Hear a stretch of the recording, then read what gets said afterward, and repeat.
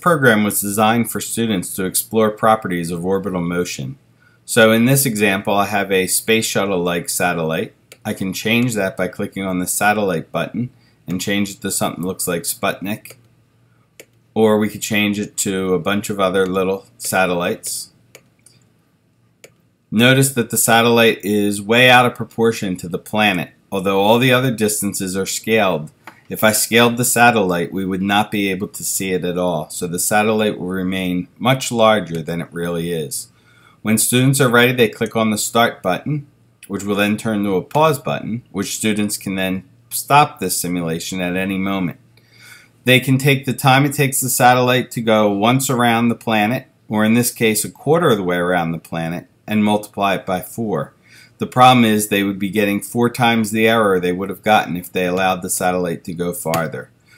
Uh, students can change from the Earth to other bodies, including Eris or Vesta. You'll notice that as the satellite orbits, the central body will also rotate with its natural um, period. You'll notice there is a line on there so students can see where the uh, central body started out and they could judge about how much it's rotated as the satellite has gone around it. Students can reset at any time to bring the satellite back to its original position. Students can change back to whatever planet they want to work on at any time also. Students can employ the ruler. You'll notice in this case the satellite is almost 8 million meters away from the center of the Earth. That will be its orbital radius. They can hide the ruler by clicking again on the ruler mark. Students should be aware that the ruler will change its scale based on the size of the central body. So when they are at Vesta, the ruler will now be in kilometers. And students can move the satellite to greater and greater altitudes, or they can move it closer and closer to the planet. It will not be able to go any closer than just a few millimeters on the screen from the surface of the planet.